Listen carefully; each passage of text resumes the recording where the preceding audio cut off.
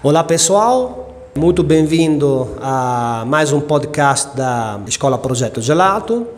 Aqui é o Paulo Calanchini, responsável da escola falando, e aqui do meu lado tem o Mirko Stortini. Olá, todo mundo, tudo bem? Professor da nossa escola. Então, eh, resolvemos fazer esse segundo podcast eh, devido a eh, inúmeras perguntas e dúvidas que os nossos eh, alunos e seguidores interessados na, na arte de fazer um sorvete e de entender um pouquinho eh, quais são eh, as dinâmicas e os segredos eh, dessa arte, eh, resolvemos ehm, baixar, eh, anotar algumas perguntas que agora vou justamente fazer ao Mirko eh, para esclarecer e conversarmos um pouquinho sobre esses assuntos. São muitos assuntos, é claro que eh, hoje vamos eh, falar só de alguns, né, com Mirko, e vamos desventar um pouquinho mais as dúvidas que qualquer pessoa que queira começar a fabricar sorvete, seja em casa, seja para o próprio negócio, que queira melhorar, aprimorar as próprias técnicas, caso já tenha né, uma sorveteria, um negócio, né? Aí eh, estamos aqui justamente para isso. Então, eh, vou fazer a pergunta. Uma das perguntas que eh, fizeram bastante, Mirko, e, hum, estão perguntando muito sobre o uso de produtos sem lactose para fabricar um sorvete.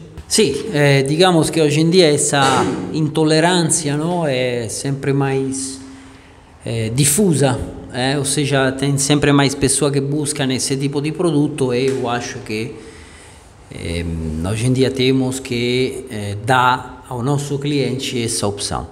Agora, digamos que antigamente, se vamos um, atrás um pouco no tempo, eh, essa a escolha di sorveti sin lactose era bastante limitata perché? Perché basicamente non existían esos produtos eh, ¿no? que hoy existen y muchas técnicas non si sabían e tal. Então o que che mm, geralmente quando a gente fazia, por exemplo, um uh, sorbet di frutta ou di chocolate, a gente podia dizer que era sem lactose. E hoje em dia temos a possibilidade de criar um produto com leite e derivados do leite, que ao mesmo tempo será sem lactose. Aliás, durante essa resposta vou dar uma dica eh, até para baratear um pouco o preço. Sabemos... Nossos, nossos seguidores adoram as dicas, com certeza. Não, sabemos que existe, no? hoje em dia, por exemplo, existe o leite fresco, no? leite UHT, o fresco sem lactose, Existe, por exemplo, como integrador de proteínas, o leite em pó integral, sem lactose, o desnatado não existe, mas veremos que podemos usar também o desnatado, se queremos. É, existe, sei lá, iogurte sem lactose, não? toda uma série de produtos que é, não tem essa molécula. Agora, primeiramente quero explicar um pouco como funciona hum, essa intolerância eh, digamos que o ser humano nasce intolerante, mas não nasce de quando somos crianças, nasce. É, aos albores, se fala albores, vamos atrás de séculos e séculos, ou milênios de anos, quando isso, o ser humano começa a ter prim suas primeiras eh, eh, testemunhas no, de ser humanos na Terra, que acontece que, como todos os mamíferos, ser umano tomava leite os primeiros anos de vida, não é que tomava leite não, até agora. Eu tenho 47 anos, ainda tomo um cappuccino pela manhã. Não, isso quer dizer que aos 47 anos ainda tomo leite. Então, ser humano, na verdade, nasce como todos os mamíferos, ou seja, que ele chegava a uma determinada idade e não tomava mais leite. E, eh, digamos que eh, naquela época, antigamente, tem tudo um estudo sobre isso, eh? ou seja, não estou inventando nada, não. Tem um estudo feito por uma universidade finlandesa eh, que fala sobre essas coisas, que praticamente depois, com o passar dos séculos, teve uma mudação genética. Ou seja, parte da população que daquela área de mais, por isso eh, esse estudo vem da, da, da Finlândia, do norte da Europa, Lógico, sim. é, é, parte daquela população praticamente através dessa mutação genética, eh, digamos que conseguiu eh, produzir esse enzima que se chama lactase, agora vou falar para que serve esse enzima, eh, pro, conseguiu produzir esse enzima que se chama eh, lactase também depois da fase di ehm, non so, in italiano si fala di, di, di allattamento, no? ou seja, depois da fase que... Amamentamento. É, amamentamento, ou seja, depois da fase que você não precisa mais, na verdade, como todos os mamíferos, não precisa, ou seja, um, sei lá, um elefante, não é que bebe leite até os 50 anos de idade, tem uma fase que ele bebe leite porque precisa, chega um momento que ele não bebe mais leite. Isso como todos os mamíferos que temos nessa terra. Agora, o ser humano é o único mamífero que, repito, até hoje em dia, até os 40, 50, 60, 70 anos, sigue bebendo leite. A menos que não tenha a intolerância. Agora, então, teve in un determinato momento essa mutação genética e parte da popolação virou eh, conseguia fazer praticamente produzir a lactase mesmo depois da fase de amamamento.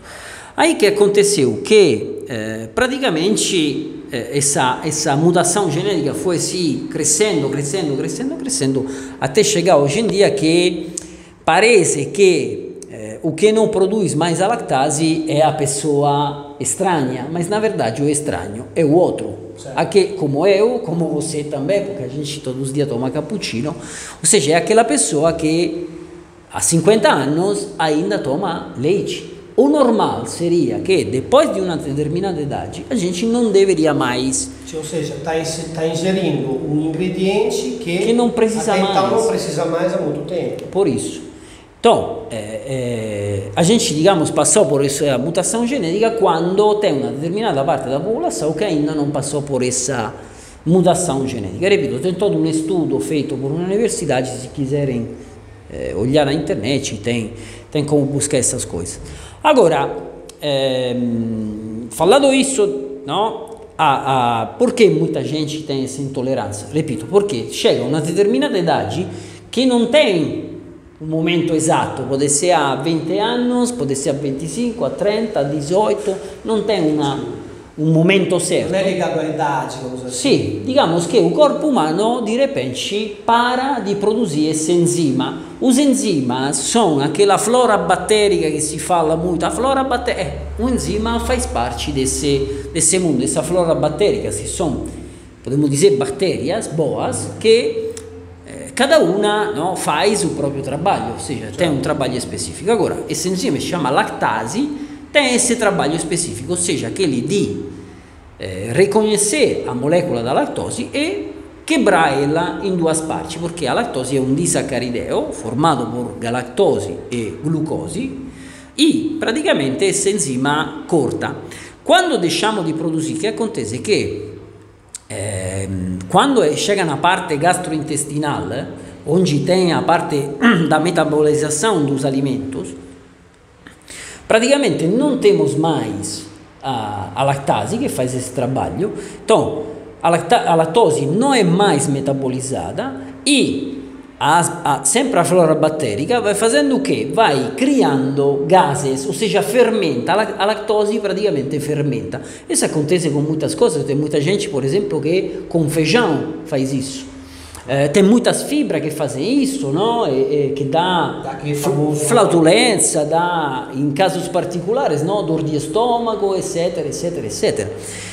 Muitas, repito, muitos carboidratos fazem isso, ou seja, não são metabolizados e quando chegam eh, na parte eh, gastrointestinal, na parte da meta- metabolização dos alimentos, essas, essas enzimas, essas bactérias boas, não encontram, não sabem o que fazer com aquele negócio, esse negócio fermenta e cria gás.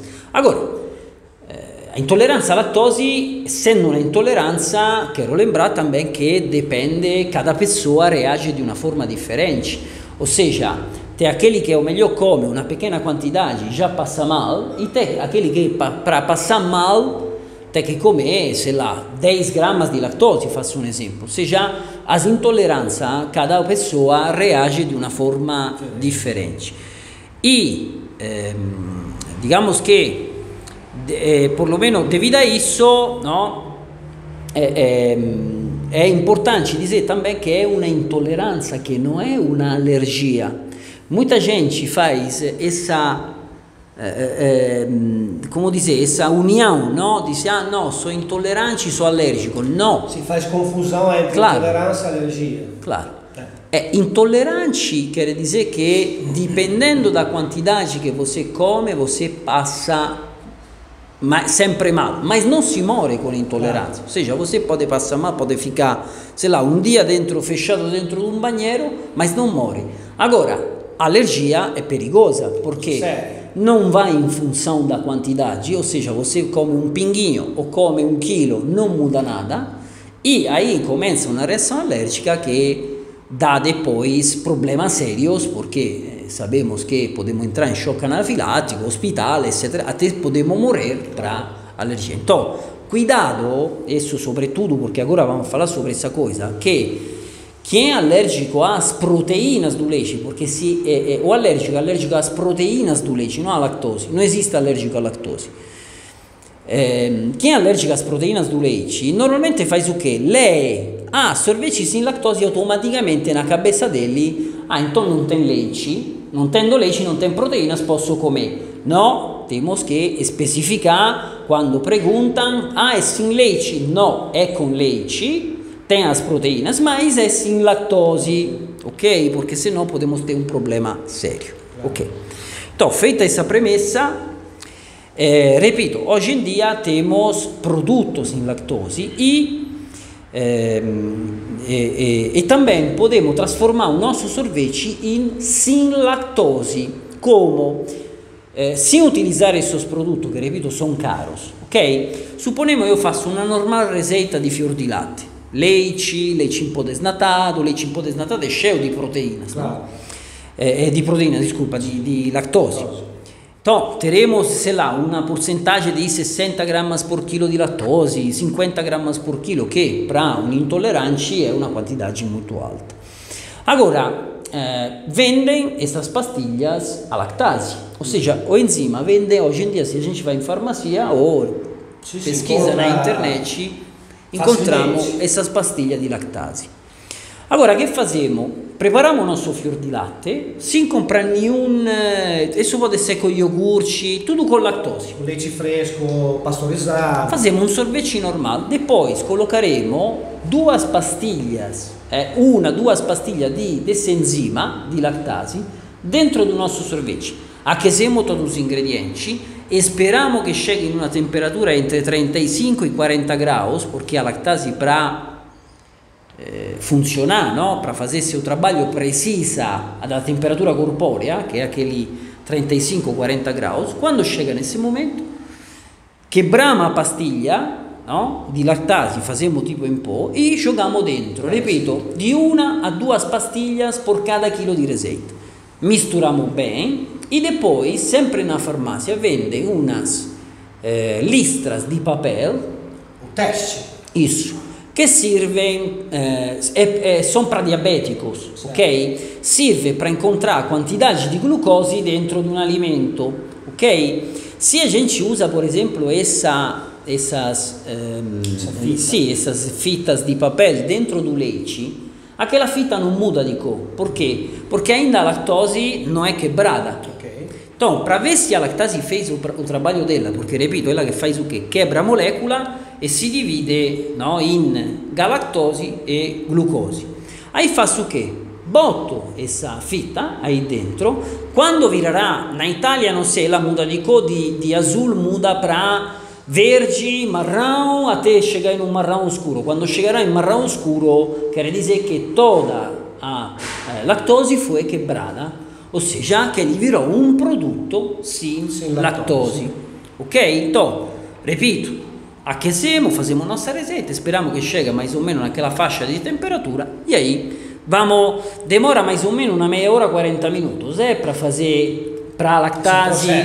É, a lactase tem que fazer o trabalho dela. Claro. Mas vamos, não? Esperamos 20, 25 minutos, experimentamos. Quando ela virará, não sei se aqui no Brasil a cor é a mesma, mas é só olhar as instruções, quando ela virará totalmente oscura, eh, repito, na Itália vira marrão bem escuro, no? quasi, quasi un preto.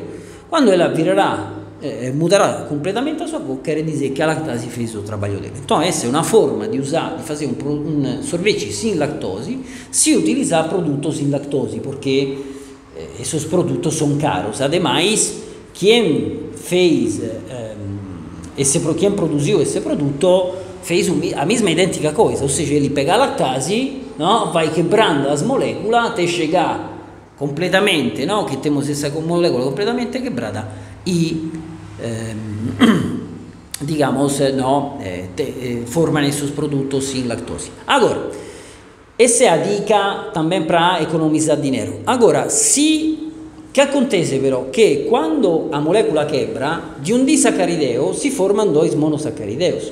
Então, o que acontece? Que aquele, se eu tinha antes 50 gramas di lactose na minha receita, che o potere anticongelante è uguale a saccarose, isso a livello tecnico, diciamo, è uguale a saccarose, io tinha 50 pontos di potere anticongelante attraverso la lactose. Nesse caso, quebrando a molécula, o meu poder anticongelante quasi dobra porque é 1,9 vezes. Então temos que tomar em conta essa coisa.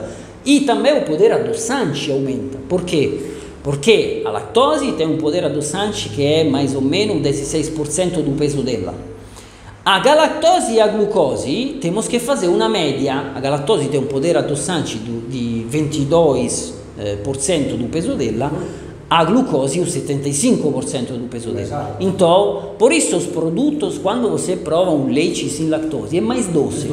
É, é, não é porque colocam açúcar, não, porque quando esse, essa molécula se divide, aí ela muda as próprias características eh, químicas. as características do claro, produto em si. Claro, muda as próprias características químico-físicas, automaticamente mudará as características. Por isso digo que o conhecimento faz muito, não? Porque, eh, como podem ver, economizo dinheiro eh, através do conhecimento e também faço um sorvete que tem uma determinada estrutura, porque, repito, se não sei essas coisas, vou jogando. Sim, deixa também mais garantia para o teu cliente, eh, que vai se sentir mais seguro. Claro, gente. Eh, vai comprar com mais confiança e, enfim, demonstra mais profissionalidade. É um argumento para fazer lá com o seu cliente. Mais conhecimento técnico, enfim. Para ver que atrás do balcão não tem um dom ninguém, uhum. né? mas tem um profissional que sabe o que está fazendo, ah.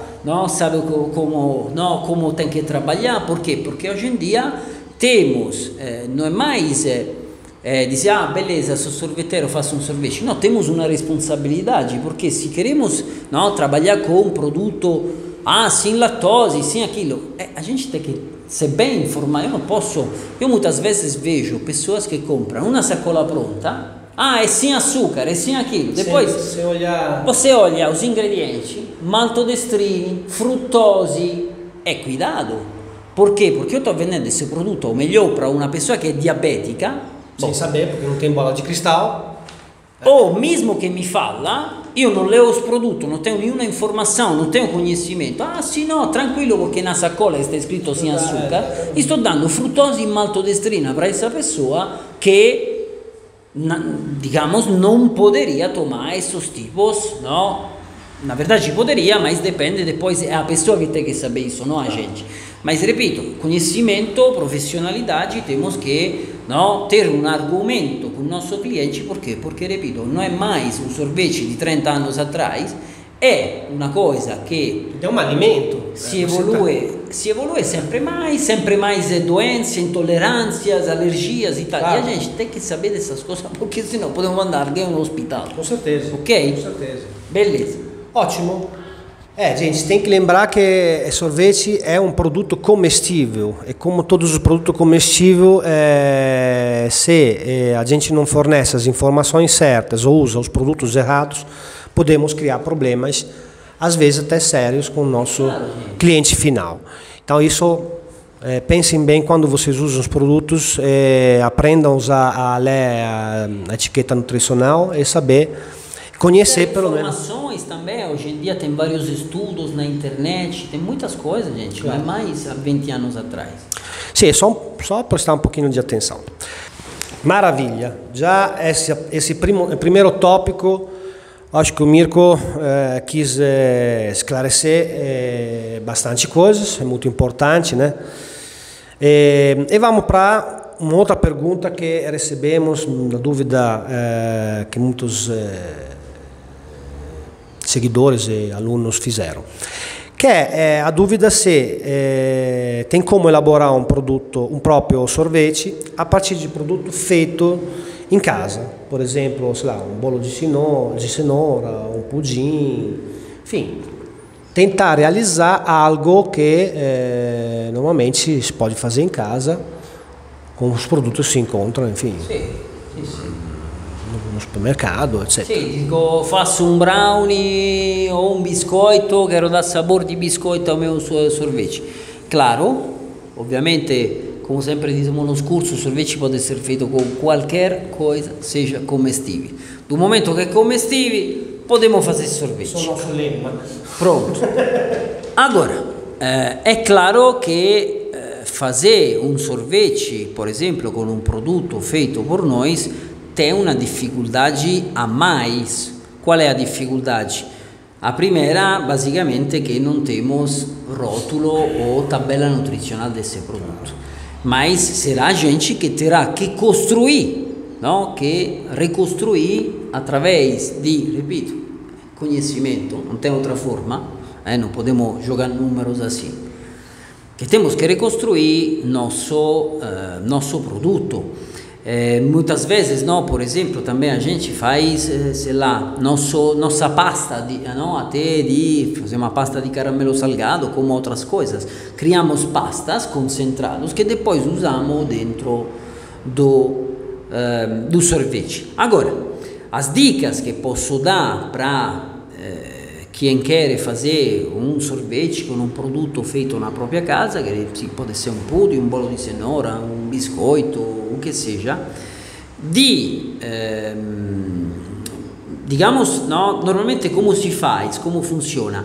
Si calcula, no? si colloca ingredienti por ingredienti, sei lá, supponiamo che o mio bolo tem farinha di trigo, eh, açúcar, eh, gemma, di ovo. gemma di ovo, clara di ovo, bla bla bla. Si pega ingredienti per ingredienti, ok?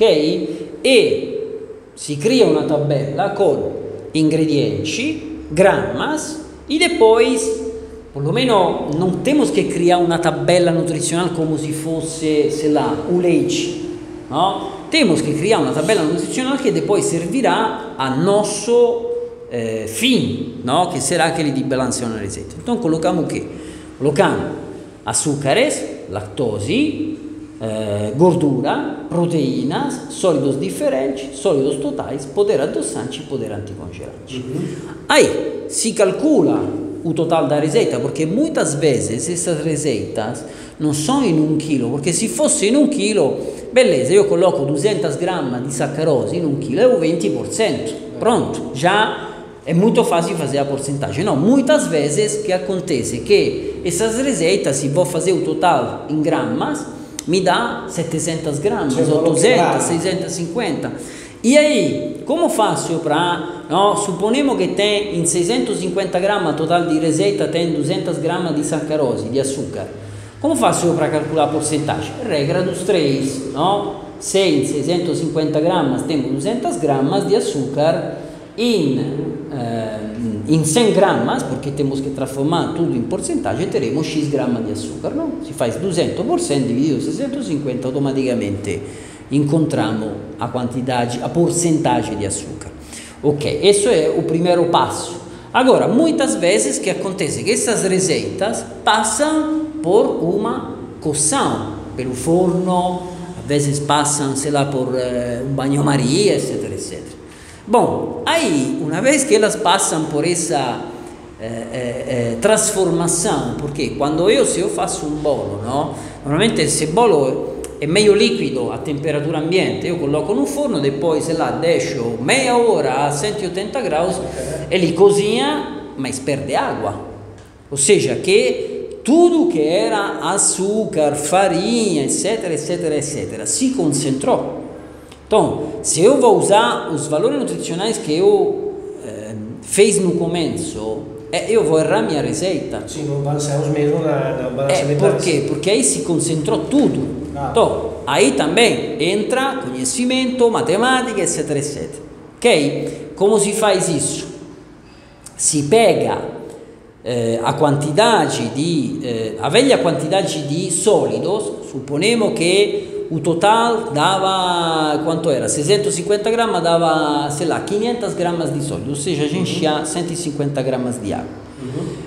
Ehm, si, eh, no, si pega a nova, un nuovo peso totale, che di 650 virò, là, eh, 550, ou seja, perdeu no, 100 gramas di acqua, si faz eh, uma regra dos três, ou seja, se porque os sólidos não evaporam, não? Aí a única parte que evapora é água. Se eu antes tinha 500 gramas, ainda tenho 500 gramas de sólido aí dentro.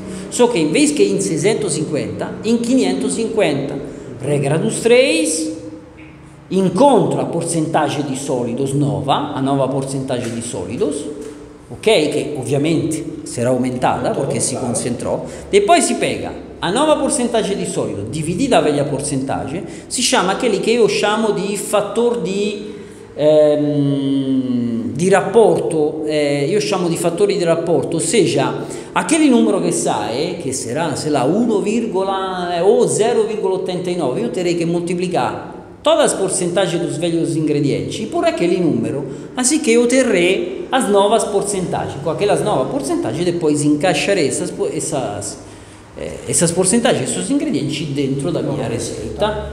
Ok? É, parece difícil, mas é só. Estudem a regra dos três. É fundamental, é fundamental. No nosso mundo é, é algo que não Ajuda- pode faltar. Ajuda em bastantes coisas. Outro assunto que é bastante cobiçado, vamos dizer assim, é sobre. Cobiçado é desejado, é bastante, é, vamos dizer assim, desejado em aprender e poder, logicamente, é, saber realizar e poder é, revendê-lo ou propô-lo aos próprios é, clientes. É, é, a dúvida é se dá para fazer um bom sorvete vegano e quais, segundo a tua visão, que característica deveria ter? Ok. Dá, ovviamente, ehm, digamos que eh, no, no, no mundo do vegano somos un poco limitados, ¿por qué? Porque non podemos colocar nada que seja de origem animal, ou seja, essa tem que ser a, ehm, a caratteristica, no? ou seja, não pode ter proteínas animais, pode ter proteínas vegetais, não pode ter gordura animal, não pode ter eh, pelo resto, digamos que as demais coisas são todas de origem do mundo vegetal. Os açúcares que usamos são todos de origem vegetal, ovviamente a men- meno da lactose, ok?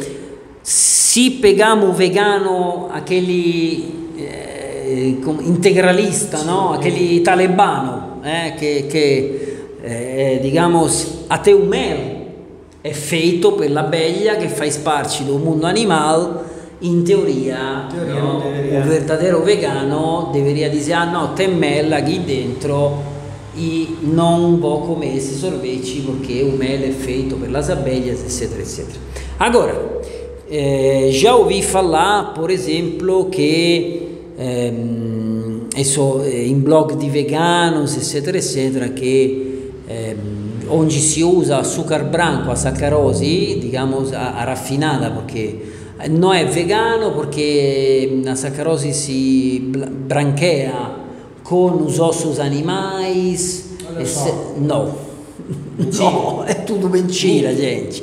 São todos mitos, ok? Ou seja, é, mas não, não tem nenhum sentido, gente. Repito, tem muitos vídeos na internet. Aliás, vou dar uma, um canal de YouTube que eu olho sempre, que é do Dario Bressanini, que é esse... É em italiano, mas dá para entender. É, mas ele explica todas essas coisas, também muitas, eh, digamos, estratégia de marketing que usa a indústria para vender uma coisa mais que outra, mas é tudo a mesma coisa, é claro. tudo igual. Então, eh, esqueça essa história que a sacarose é branqueada com ossos animais. Não, assolutamente não, não existe isso. Ok? Então, eh, teremos que usar açúcares de origem vegetal, repito, a lactose não, mas o mel, se pegamos aquele vegano integralista, dirà che è di origine animale. Poderia discordar. Sì. Eh, depois, tutto il resto tem che sia di origine eh, animale, eh, vegetale, ou seja, gordura, proteínas, eccetera, eccetera. Hoje em dia temos, sei lá, por exemplo, gordura di cocco, eh, manteiga di cacao, palma, eh, temos vários tipos de gordura vegetais, então não será um problema. E eh, a nível de proteínas também temos proteínas vegetais como eh, lecitina di soja, lecitina di girassol, no? tem vários tipos de eh, proteínas vegetais. Tem ervilha também, tem proteínas de ervilha, feijão, etc. Mas eh, eu já provei pessoalmente, não gostei. A que mais gostei foi a proteína do arroz.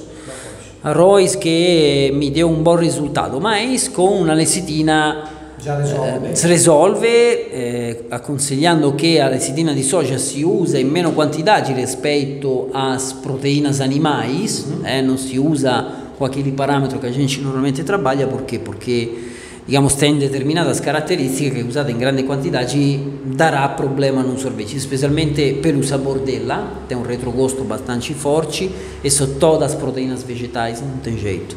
E pelas propriedades areanti, ou seja, de globale, chupar que ela tem, estou aconselhado não eh, colocar, sim, não colocar muita quantidade. Eh, que mais? Digamos, eh, temos que ter atenção se na nossa liga neutra, por exemplo, tem algo de origem animal. Claro. Muitas vezes não, nessas ligas neutras tem proteínas do soro do leite. Eh, se lá tem, eh, aquele que são chamados de monoglicérido do ácido graxo eh, gorduroso, no? que essa é outra coisa que já vi em vários eh, sites veganos que são feitos com restos animais, blá blá blá. Não, não. É, eh, são, eh, digamos, são extraídos através de gordura vegetal, não são com restos animais, não, não mataram ninguém para fazer, tranquilos. É? Então, Podemos usar também os monoglicéridos ácido gorduroso, digamos que a lecitina de soja já faz como emulsificante também, então se queremos usamos, se não queremos não será um problema. Agora, é lógico que não dá para fazer, sei lá, é, fior di latte vegano, por quê? Porque o fior di latte, o sabor típico é a leite e temos que colocar a creme de leite, leite, ok? Agora, iogurte vegano, mesma coisa. É, ah, queijo mascarpone com mel, vegano. Não, Esquece. não dá para fazer, ou seja, são coisas de origem animal, mas dá para fazer pistache, avelã, Nutella, porque não? Dá para fazer uma gianduia vegana, chocolate, bom, para não falar da fruta e de todas essas coisas.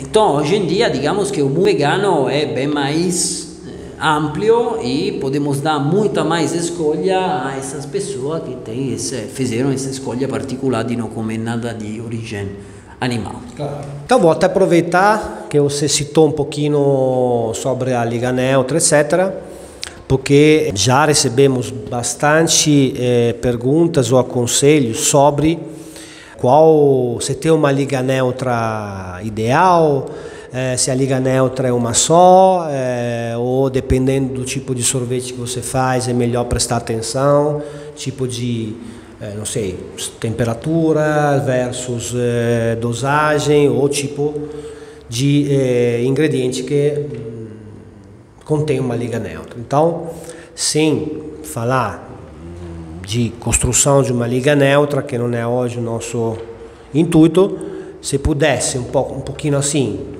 tentar esclarecer um pouquinho essa questão de quais seriam os conselhos para escolher um, uma boa liga neutra. Beleza, é, bom, digamos que hoje no mercado de liga neutra se encontra não sei qual, não, quantidade absurda. Primeiramente o que é uma liga neutra. É, porque muita gente também, ah, eu uso, uso uma liga neutra a 50 gramas por quilo. Não é uma liga neutra, é uma base. Então, tem uma diferença entre uma base e uma liga neutra. Geralmente uma liga neutra não deveria, eh, uso eh, condicional, porque temos também liga neutras a 10 gramas, mas geralmente uma liga neutra não deveria passar de 5 gramas por quilo. Eh, chegam, repito, tem liga neutra que chega até 10 gramas. Na verdade, no, quando é 10 gramas, já 5 gramas é cortada, ou seja, além dos estabilizantes, emulsificantes, eh, dependendo depois de que liga neutra é, temos outras coisas, tipo dextrose, maltodextrina, etc, etc. Isso seja para eh, evitar margem de erro, para, digamos, diminuir um pouco a margem de erro, e seja também para quem produz esse produto para ganhar um pouco mais de dinheiro, que está vendendo, sei lá, 50 reais o quilo a maltodextrina, por exemplo. Bah, ma adesso depois cada uno, io dico che cada uno na vita scoglie, è chiaro che se io non sei, compro, no, non sei nada, io sono l'uomo mais feliz do mundo. Do momento che io sei che a maltodestrina costa 4, 4,50 kg e dentro di una base o dentro di una liga neutra sto pagando a 20, 25, 30, 35, 40 o che sia, sinceramente prefiro tomar outra, outra rua, mas é uma minha visão pessoal. Justamente, como sempre falamos, depois atrás desses produtos também tem uma indústria, tem marketing, tem vendedores, tem um químico que está lá no, trabalhando e essa gente tem que se ganhar o pão no, di cada dia e giustamente a gente paga essas coisas. É justo, é trabalho e o trabalho si paga. Bom, digamos, feita essa pequena premessa, agora, repito, para mim uma liga neutra não tem que passar di 5 gramas por quilo. Depois, para mim existe liga neutra para creme e liga neutra para, eh, podemos dizer, creme e sorbet. Eh, in che sentido? Muitas vezes eu vejo pessoas que usam liga neutra con monodiglicerido usato di gorduroso dentro un sorbet di frutta. Eh, non, tem, non tem sentido perlomeno a nível químico porque eh, aquele é um emulsificante, ou seja, uma substância que o, o, trabalho dele é juntar água e gordura. Mas se fazendo, sei lá, um sorvete di morango onde não tem gordura, para que colocar um emulsificante? Visto que não encontrará gordura, encontrará água mas não encontrará gordura. Ademais, aquela é gordura. Quando falamos de monoglicéridos dos ácidos graxos, grassos, estamos falando di gordura. E gordura com altíssimo ponto di fusione, geralmente podem chegar até 60 graus centígrados o ponto di fusione dele. Muitas vezes, eh, muitas pessoas usam aquele gel eh, sem fazer nome, cada, cada empresa depois chama de um nome diferente, no? che è aquele gel emulsificante. Sì, emulsi- è un emulsificante che pega, pum, e bota dentro. Você está colocando gordura no seu sorvete, ok? É verdade que ah, melhora a estrutura do sorvete, claro, está colocando gordura, então melhora a cremosidade, gordura saturada segura bem mais a estrutura. Mas, repito, através mas a, eh, através de técnicas não podemos evitar de usar essas coisas porque eh, como sempre falo não existe o ingrediente perfeito não existe não senão já existiria o sorvete perfeito existe pró e contras agora o pró de esse emulsificante que colocamos ou direttamente ou indirettamente através de uma liga é que, repito, dá cremosidade porque é gordura, eh, prático. Melhor, prático, melhora a estrutura, etc, ah. etc. Contro esclarecer as cores, tá? Bastante. Tira, tira sabor do sorvete porque é gordura, repito, com altíssimo spunto di fusione, então não derrete rapidamente na boca, isso, digamos que de alguma forma tirará o sabor. Mas mesmo que não fosse assim, se eu coloco, sei lá, também uma gordura eh, con una saturazione non molto alta, con un punto di fusione non molto alto, tipo un olio di cocco, dentro di un sorbet di frutta, automaticamente il sapore sarà differente. E io faccio sempre, faccio una prova, pega un pedacinho di manteiga, colloca na bocca, derrete e poi immediatamente come una, um morango, verás que o sabor do morango será diferente. Uma parte, não? Isso, Assim. será diferente. Então, repito, eh, olhar no? frutta e crema. Frutta non tem que ter um emulsificante. Por quê? Porque não tem sentido e, repito, eh, tem outras técnicas hoje para dar cremosidade ao sorvete. Agora, queremos criar um sorvete cremoso, mesmo que seja sorbet ou seja base, base água, que tenha carbossime de celulosa, por exemplo. É, tem aqueles produtos que os americanos chamam de fat replace, ou seja, que são substitutos da gordura, mas não a nível de calorias, eh, no, de, de estrutura, ou seja, dá mais ou menos, claro, não são iguais, mas mais ou menos nos dará a mesma estrutura, a mesma cremosidade que dá uma gordura, mas sem ter que perder de sabor, cor, etc, etc. A carbossimetilcelulosa é um desses estabili- é um estabilizante, é uma, é uma fibra, na verdade, que faz esse trabalho. Gomma xantana também é outro fat replace. É, carragenina é outro fat replace, mas é cara. Carragenina é muito cara, depois depende de quanto custará nosso, nossa liga neutra. Então, esse é o conselho que posso dar, que tenha por lo meno, por lo meno dois estabilizantes, ou seja, não se usa nunca um só estabilizante. Por quê? Porque depois os estabilizantes trabalham em sinergia um com o outro, ou seja, um faz uma coisa, um faz outra, e quando temos não, aqueles dois, três estabilizantes, porque cada um vai fazendo o trabalho dele. Agora, digamos que creme non precisamos, por exemplo, da carbossimetilcelulosa, perché? Perché colocaremo un emulsificante, tem gordura, então não precisamos do fat replace, a menos que não queremos tirar quase toda a gordura. Eh, no creme che seja por lo meno uns dois estabilizantes e um emulsificante, eh? guar, tara, alfarroba, eh? alfarroba é cara aqui no Brasil, então por lo meno que tenha eh, normalmente o guar e alfarroba ou tara, eh? porque a tara está no meio, faz um pouco trabalho das duas. Eh, que tenha também um pouco de gomma xantana, gomma xantana consegue quasi gelificar em toda uma estrutura bem mais compacta eh, ao sorvete, depois depende também de que tipo de sorvete queremos, no? se queremos um sorvete mais compacto ou é sorvete um pouco mais mole, no? de fazer até aconselho, por exemplo, muitas vezes, se eu faço o meu sorvete, coloco na vitrine e daí a algumas horas já foi vendido, para que o estabilizante? Para nada, É como também até se melhor. Fa, si fa na Itália muito que tem um sistema pozzetto Claro, e conheço vários colegas sorveteiros que nem colocam neutro. claro. Che Perché? è Perché ben diretto. è una venda diretta, rapida, to, para che un neutro, eh, un neutro, digamos, a função do neutro qual é? Sì, estabilizar a água, criar uma estrutura firme, mais firme, evitar que aquelas moléculas derretidas dentro da água livre, porque uma parte de água é congelada, se mexam, porque porque quando elas começam a se juntar, criam depois cristais ou glóbulos de gordura sempre maiores, até depois, inevitavelmente, deteriorar a estrutura do sorvete. Ok? Digamos, essas são as dicas que podemos dar sobre ligas neutras. Perfeito. Para finalizar, eh, eu gostaria que você desse algumas sugestões, né? Sobre eh, como criar uma base branca para fazer sorvete. Para dar um pouquinho de noção sobre isso. Perfetto. Sì, eh, digamos che una calda base, no? quella che molta gente chiama di calda base, eh, geralmente, pelo menos, digamos como eu começo a construir, eh, primeiramente, no, quero dizer, como falei antes, que construir uma receita di sorvete é como se a casa, a própria casa. Como quer essa casa? De dois andares, três andares, com a janela daquele lado, aí a cozinha aqui. Então temos já que projetar nossa base, nossa calda base, em função de quê?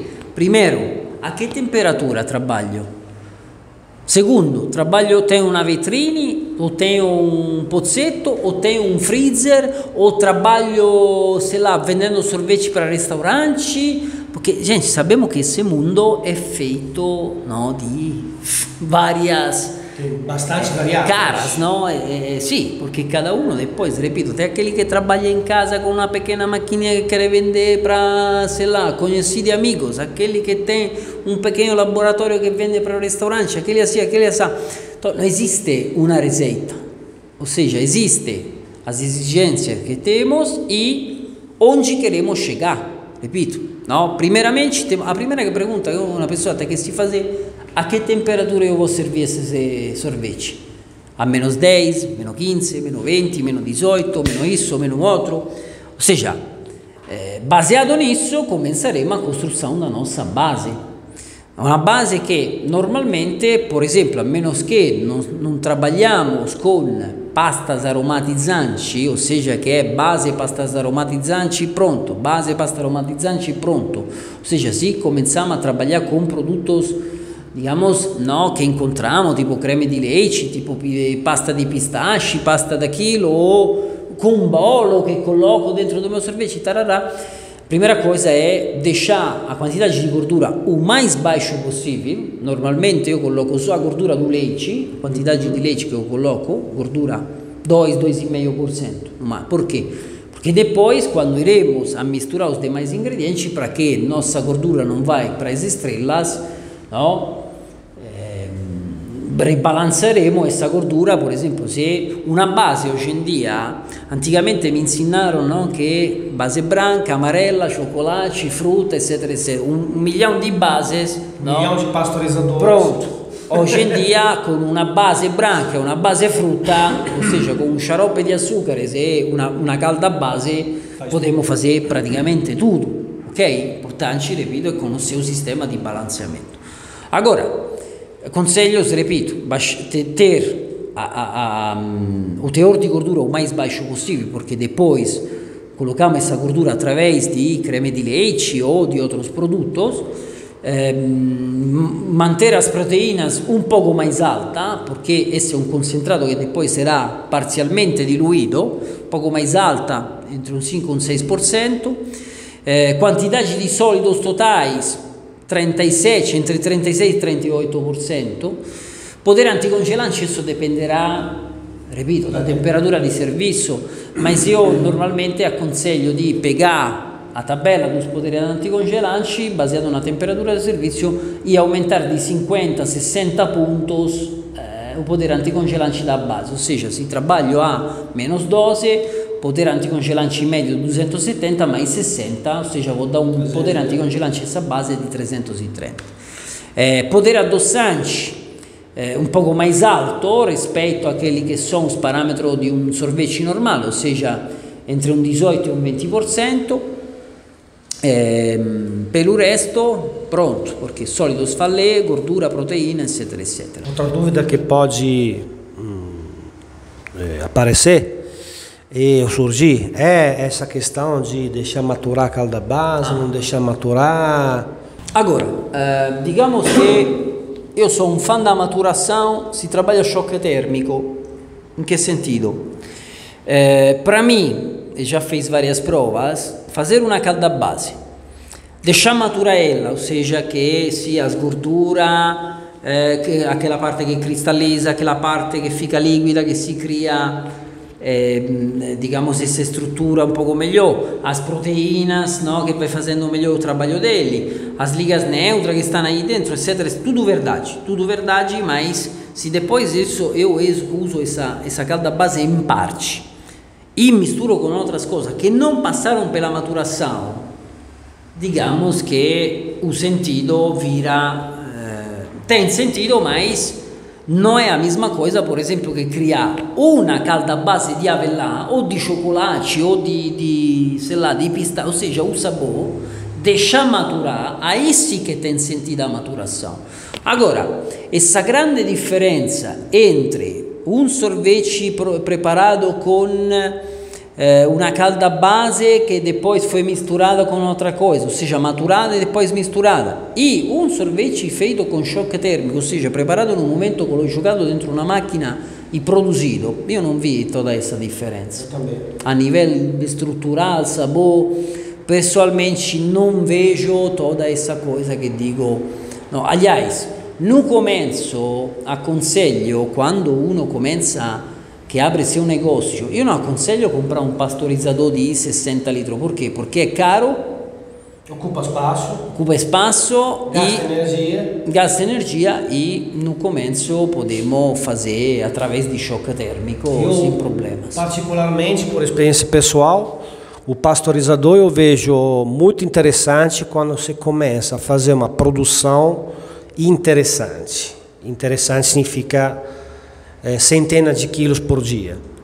É, porque senão, realmente, como o Mirko falou, é para começar não é, não é interessante. Agora, se começa a, a precisar produzir 200, 300 quilos de sorvete por dia, aí ajuda, o pasteurizador ajuda com certeza no processo de realização das receitas, etc.